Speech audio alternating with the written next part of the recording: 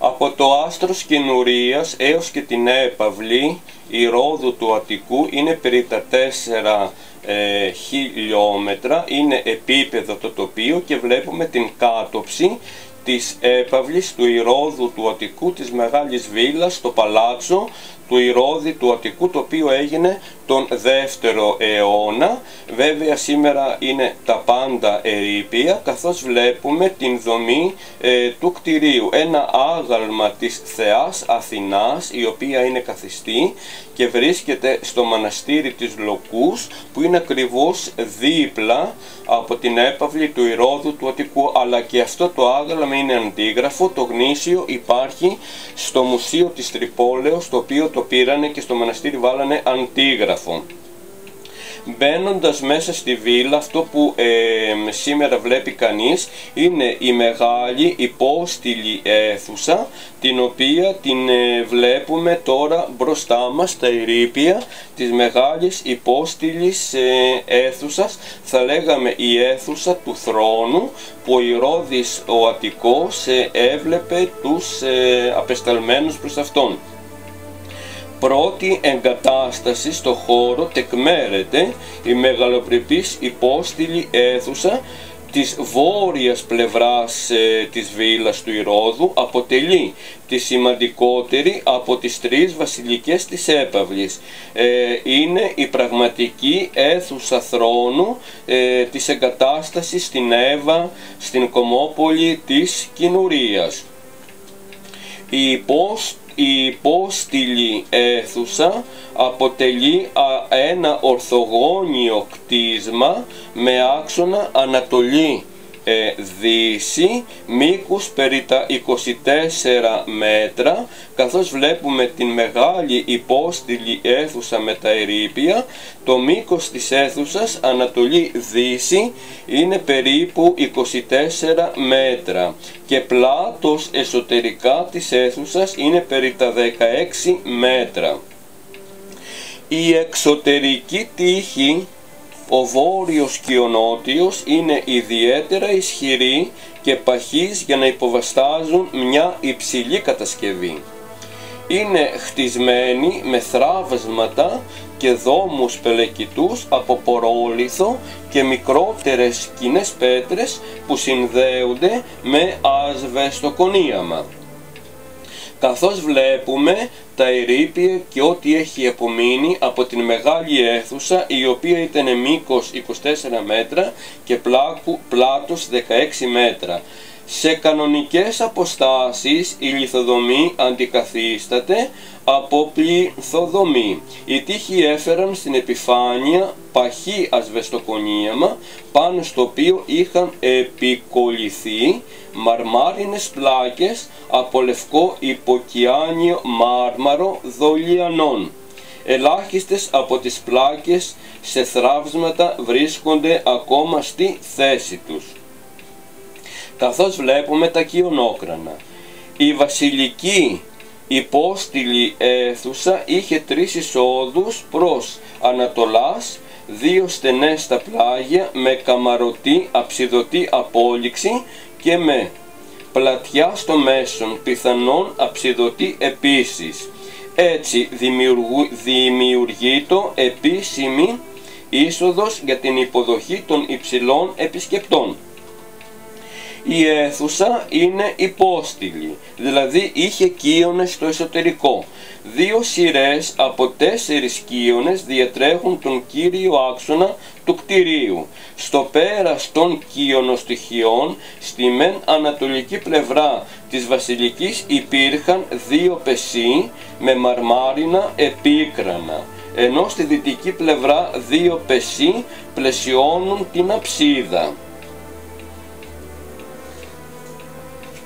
Τον στυλοβάτη αποτελούν οι επίπεδες πλάκες μαρμάρου πάνω στις οποίες δράζονται κυλινδρικές βάσεις οι οποίες υποβάσταζαν τους μονόλιθους κύονες από μάρμαρα ε, της Εύβοιας καθώς βλέπουμε ε, τους κύονες, τους μονόλιθους από μάρμαρο της, Εύ, της Εύβοιας που είναι ε, τώρα ε, κάτω σε ερήπια Το συνολικό ύψος των κοιώνων με τις βάσεις έφτανε περί τα 4,5 ε, με 5 μέτρα. Το ύψος των κοιονοκράνων ανέρχεται στα τους 70 πόντους. Τους κύονες επέστεφαν μαρμάρινα κοιονόκρανα κορινθιακού ρυθμού με πλούσιο φυτικό διάκοσμο, φύλων άκανθας και έλικε στις γωνίες του Άβακα, καθώς βλέπουμε τα όμορφα κοιονόκρανα με τον διπλό φυτικό διάκοσμο της άκανθας. Τα κοιονόκρανα των εσωτερικών κοιονοστοιχών κοιονοστοιχειών της αίθουσας έχουν δύο σειρές φύλων άκανθας, ο δε συνδυασμός τους με τις μεγάλες έλικες που στηρίζουν τον άβακα τους προσδίδει τον χαρακτήρα των σύνθετων κοιονοκράνων, καθώς βλέπουμε και τους μονολιθικούς ε, κύονες τώρα σε ρήπια που είναι κάτω στην μεγάλη ε, υπόστηλη βασιλική την αίθουσα του θρόνου της βίλας του Ηρώδου του Αττικού. Το αρχικό σχέδιο μιας ορθογόνιας αίθουσας με διπλή κοιονοστοιχεία, καμαρωτή, τρίκλητη οροφή και ξύλινη αετοματική στέγη πιθανότατα δε και με ημικυκλική αψίδα στην δυτική στενή πλευρά της είτε έμεινε ημιτελές είτε τροποποιήθηκε και ολοκληρώθηκε στο πλαίσιο των μεγάλων έργων που έγιναν στη Βίλα από την Ηρώδη, από το αρχικό του στάδιο, από τον ίδιο ε, τον Αττικό και τους αρχιτέκτονες της εποχής. Και χρονολογούνται όλα τον δεύτερο αιώνα μετά Χριστό καθώς ε, βλέπουμε τα ερήπια της μεγάλης υπόστηλης ε, αίθουσας. Οι κύονες είχαν ύψος περί τα 16, περί τα 4,5 ε, μέτρα, τα κοιονόκρανα ήταν 70 πόντους, καθώς βλέπουμε ε, τους κύονες ε, στα ερήπια της βίλας του Ηρώδου ε, του Αττικού. Το μεγαλόπνο σχέδιο του Ηρώδη Αττικού είναι ασφαλώς η δημιουργία μιας μεγάλης βίλας εφάμιλης με τις αυτοκρατορικές επαύλεις της Ιταλίας, ιδιαίτερα σε ορισμένες βασικές αρχές και λειτουργίες με την βίλα του φίλου του αυτοκράτορα Αδριανού στο Τίβολι. Ο ίδιος άλλωστε ήταν ο μεγάλος Έλληνας της εποχής, διάσημος και πάμπλουτος και στενά συνδεδεμένος με την αυτοκρατορική οικογένεια για πολλές, για πολλές δεκαετίες, ο Ηρώδης ε, ο Αττικός.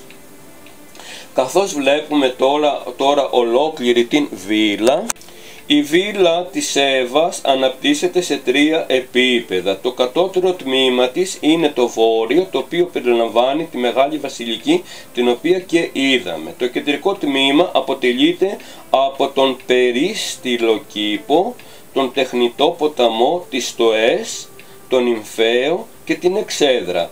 Ανατολικά και δυτικά εκτείνεται το στάδιο κήπος και η βασιλική της δυτικής πλευράς με τα προκτίσματά τους. Τέλος η νότια πτέρυγα περιλαμβάνει το ηρώ του Αντίνου Διονύσιου και το Σαραπείο, τα Λουτρά και τον Οκταγωνικό Πύργο. Άγαλμα Αμαζόνας Καριάτιδος Μάρμαρο βρέθηκε στη Μονή Λουκού στην Κοινουρία. Το άγαλμα διακοσμούσε παραστάδα κάποιου προπύλου της έπαυλης του Ηρώδη Αττικού. Ε, πατά σε ορθογόνιο βάθρο ε, την προσθεία πλευρά του οποίου κοσμεί ανάγλυφη πέλτη, η ασπίδα των Αμαζόνων.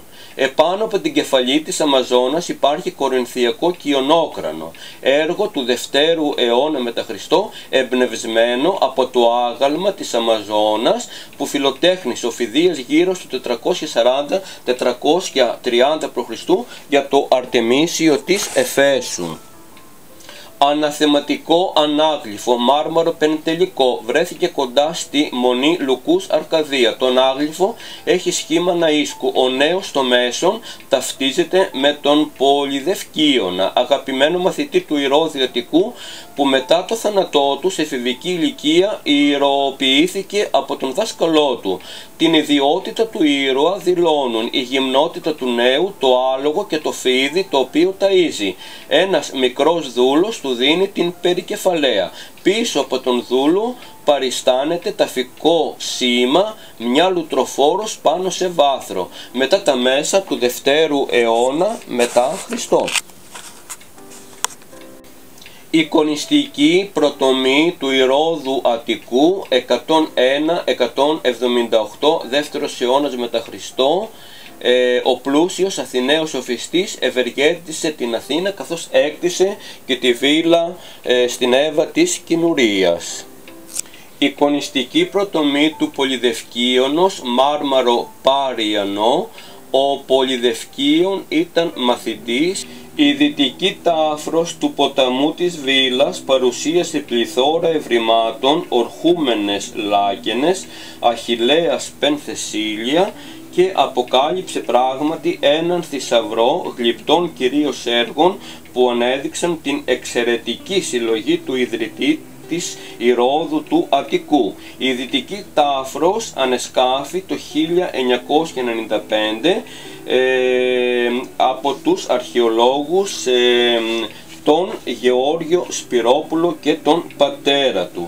Τα πορτρέτα που βρέθηκαν 21 τον αριθμό καθώς και το άγαλμα του Αντίνου και της Άρτιμης Εφεσίας. Και τώρα βλέπουμε τα ανάγλυφα και τα πορτρέτα 21 των αριθμών ε, των αυτοκρατόρων καθώς και η αρχαιότερα επιτύμβια όπως ε, τα βλέπουμε και οι πρωτομές. Και τώρα είναι άλλα είναι στο αρχαιολογικό μουσείο του Άστρους άλλα είναι στο αρχαιολογικό μουσείο της Τρυπόλεως και ορισμένα δε τα ψηφιδωτά τα οποία βλέπουμε είναι ακόμα στη θέση τους καλυμμένα με άμμο και με βότσαλα επάνω ο ποταμός Ολάδας, ωραιότατο ψηφιδωτό από, την, ε, από τις στοές ε, που περίκλειαν τον μεγάλο κήπο ε, του Ηρώδη άγαλμα της Αφροδίτης είναι στο Μουσείο της Τρυπόλεως.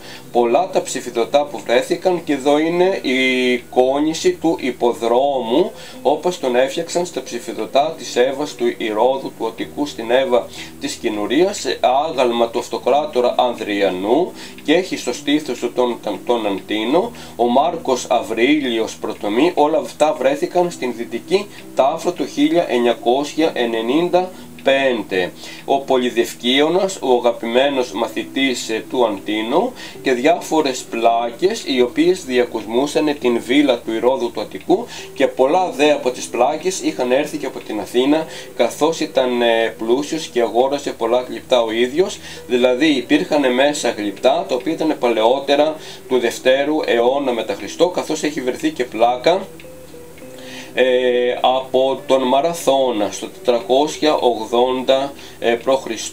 με τους ε, Αθηναίους ε, πολεμιστές που πολέμησαν στην ε, μάχη του Μαραθώνα. Τα ψηφιδωτά, οι λάκενες θεωρούνται έργα του Καλίμαχου, 5ος αιώνας π.Χ. πρωτότυπο έργο και εδώ βλέπουμε σε ανάπτυξη την υπόστηλη αίθουσα, την αίθουσα του θρόνου και αμέσως βλέπουμε το περίφημο άγαλμα το οποίο βρέθηκε και αυτό το 1995 και είναι η Πενθεσίλια ε, με τον Αχιλέα. Δυστυχώς το άγαλμα δεν είναι σε θέα και είναι στην αποθήκη του μουσείου. Έχει ύψος 2 και 30. Είναι τεράστιο το άγαλμα, ολόκληρο και δεν υπάρχει μόνο το κεφάλι της Πενθεσίλιας ε, αυτό το μετάλλιο μαρμάρινο είναι ε, η Άβγη και ο Ηρακλής και αυτό είναι στο μουσείο της ε, Τρυπόλεως ε, νομίζω. Εγώ τα έχω βρει από τα βιβλία. Και τώρα πάμε στη Μονής Λοκούς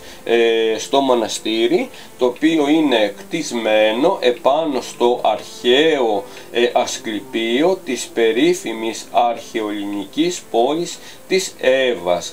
Την Εύα δυστυχώς δεν την έχουν βρει, αλλά ξέρουμε ότι στον τόπο του μοναστηριού υπήρχε το αρχαίο ε, ασκληπείο, δηλαδή θα λέγαμε το αρχαίο νοσοκομείο της περιοχής και της πόλης της Εύας.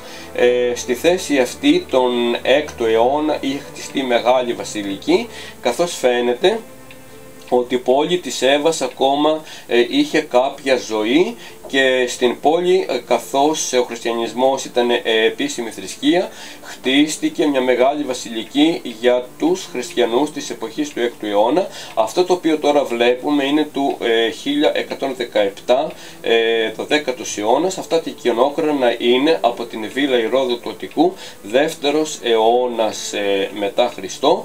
Και η εκκλησία είναι 1117 ε, ε, αυτά τα ε, ωραία μάρμαρα ε, τα οποία ήταν στη θέα ε, στους δρόμους, στους διαδρόμους της βίλας του Ρόδου του Τεκού και εδώ ένα επίκρανο ωραιότατο επαναχρησιμοποιημένο στα διάφορα κτίσματα της πόλης της Μονής.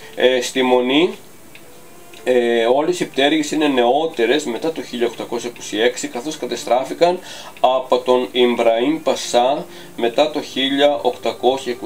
1826 και εδώ βλέπουμε τις στοές της Μονής. Και εδώ υπάρχει και ένα ωραιότατο ε, άγαλμα της Θεάς Αθηνάς είναι αντίγραφο και αυτό καθώς το 1985 το πρωτότυπο άγαλμα βρίσκεται ε, στο Μουσείο της Τρυπόλεως. Το άγαλμα της Αθηνάς στο μοναστήρι της Λοκού στην Εύα της Κοινουρίας και είναι 15 Σεπτεμβρίου του 2019 στο Άστρο, στην Βίλα Ηρώδου του Αττικού και στο μοναστήρι της Λουκούς, Κοινουρίας.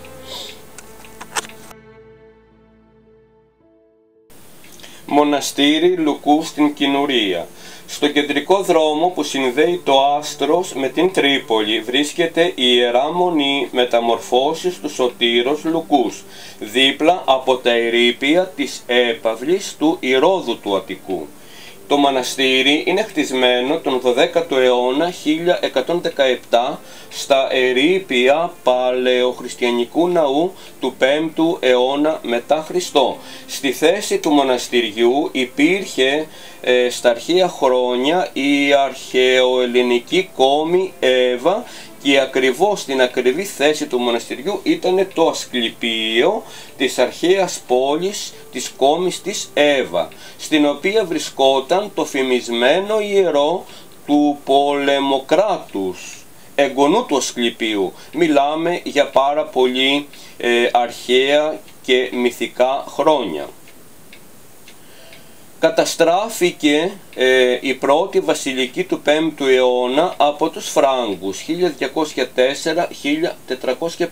1204-1450 Ενετούς και Τούρκους 1715-1826 η επαναστατική δράση της Μονής προκάλεσε την πυρπόλησή της από τον Ιμπραήμ Πασά στις 5 Αυγούστου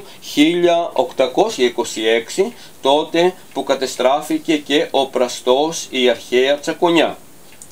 Κάηκε ολοσχερός εκτός από το καθολικό που διασώζεται σήμερα και είναι του 12ου αιώνα.